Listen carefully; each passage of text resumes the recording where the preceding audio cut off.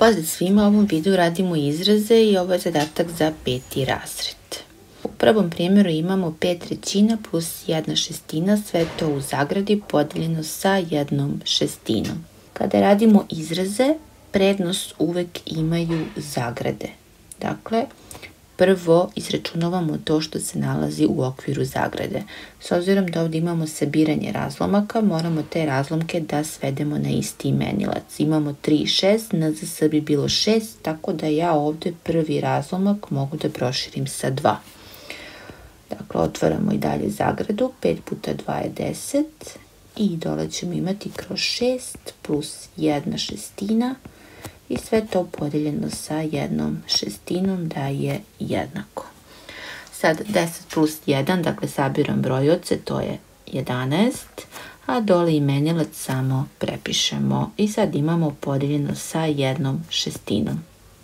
Razlomke delimo tako što prvi prepišemo i stavimo puta i ovaj drugi obrnemo, dakle napišemo 6 kroz 1. Uvek kada množimo razlomke možemo da unakrsno skraćujemo, pa možemo da skratimo 6 i 6, ovdje ostaje 1 i ovdje ostaje 1. 11 puta 1 je 11, pa imamo kroz 1, to je u stvari 11 celih. Drugi primjer, imamo 5 trećina plus 1 šestina puta 1 šestina. Kad imamo ovako operaciju sabiranja i množenja, dakle množenje je to koje ima prednost. Dakle, pet trećina ću samo prepisati i ova dva razlomka ćemo pomnožiti. Množimo tako što posebno množimo brojoce, posebno imenioce. Dakle, gore imamo 1 puta 1, to će biti 1, a dole imamo 6 puta 6, a to je 36.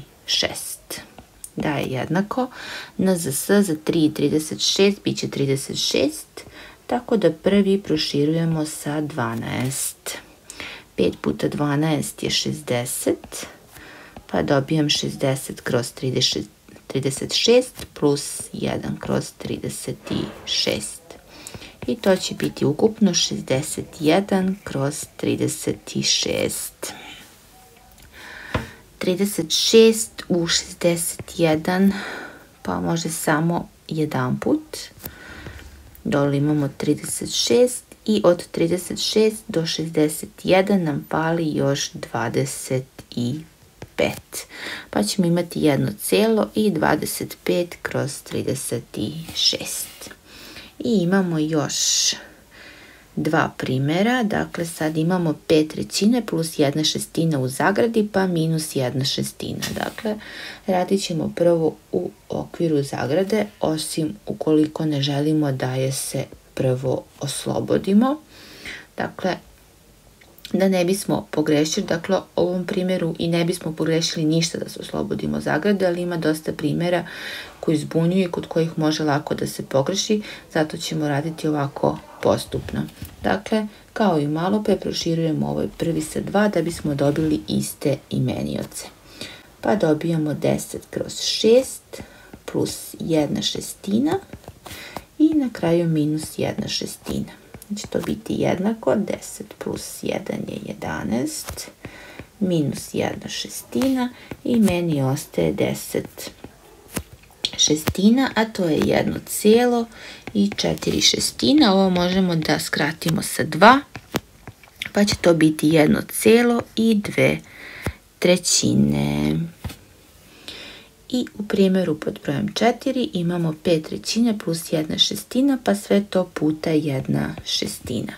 Dakle, opet zagrada je ta koja ima prednost. Prvi proširujemo sa 2 i dobit ćemo 10 šestina plus 1 šestina, pa sve to puta 1 šestina. I sad imamo gore 11, što je 6 puta 1 šestina.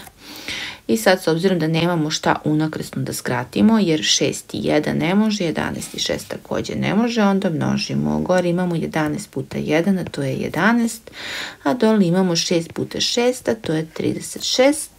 Dakle, tu nema šta dodatno da se skrati, dakle ovo je pravi razlomak, tako da ga ostavljamo u ovom obliku. To je to što se tiče ovih zadataka. Pozdrav!